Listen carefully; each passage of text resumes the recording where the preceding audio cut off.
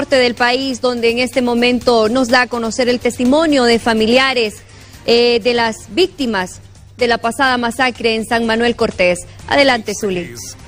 Gracias, muchas gracias compañeros del estudio. Seguimos transmitiendo en estos momentos desde el cementerio general aquí en la ciudad del Progreso Lloro. En estos instantes pues ya están introduciendo el segundo cuerpo a una de las fosas. Eh, cabe mencionar que los tres cuerpos pues quedarán juntos eh, como símbolo de la unidad eh, pues que caracterizaba a estas personas que lamentablemente pues perdieron la vida en esta tragedia tan horrorosa luego de ser en las cañeras de San Manuel Cortés. Estamos observando pues cómo todos están tratando de cooperar, cómo todos están eh, tratando pues de brindarle fortaleza a las familias. Ya solamente falta uno de los féretros eh, de ser introducido aquí a las fosas. La cantidad de personas que hay es exagerada. Nos han mencionado que bueno los autobuses ni siquiera se dieron abasto debido a toda la población de este sector de la colonia Guadalupe que quería venir. Voy a conversar con algunas personas que están por acá. Bueno, es difícil para ustedes realmente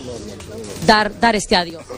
Miren, es que mataron ayer a mi hijo, Oscar Hernán Gómez Machado. Gracias. Yo primeramente yo que algún día voy a estar con él. Y voy a saludar a don Eduardo Maldonado, yo ya lo ya todos ustedes. Un momento difícil que está viviendo al perder a su hijo. Sí, no, a mí es duro. Yo vengo de Ucotepeque porque ayer, me avisaron en la mañana que habían matado a mi hijo allí.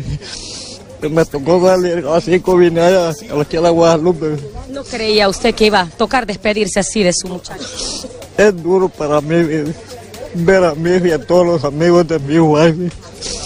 ¿Cuál es su nombre? José Leonardo Gómez don Odelio, pues brindándonos palabras porque le toca despedir a su hijo Renán Gómez Machado, imagínense el oriundo de Ocotepeque, y fue desde allá en donde le dieron la lamentable noticia que su hijo pues había sido encontrado muerto luego de que él desapareciera. Y no llegaran prácticamente a sus hogares a las 5 de la tarde que les tocaba retornar. Las imágenes aquí pues son bastante dolorosas, cada una de las familias pues recordando a, estos muchachos, a estos hombres que se ganaban la vida ahí en el sector de las cañeras. Usted también pues brindando apoyo aquí a todas las familias en este momento tan doloroso. No, pues sí, ando acompañando a mi, compañero de hogar que supuestamente era mi hijastro. Ah, no se crió conmigo, pero sí se portó bien conmigo el muchacho y me da mucho pesar que haya, que haya, sido así. Un muchacho joven. Joven, humilde, que no se metía con nadie, porque yo lo conocí muy bien, está en mi casa estuvo y al recibir esta noticia, pues... sí, nos pusimos mal, más bien hicimos agarrar camino a ver cómo hacíamos. Ayer a las 5 caímos acá en Ticotepeque. Pero gracias a Dios, pues venimos a despedirlo la última vez. Y a brindarle el apoyo a la esposa. darle el apoyo a la esposa y a la mamá. Y a él también, que es mi compañero de hogar. Muchas gracias.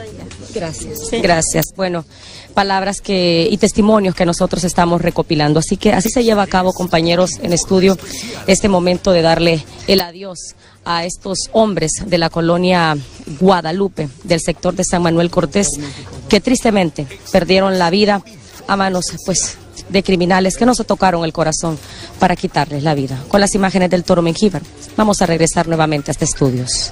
Gracias, Calix. Y retomamos.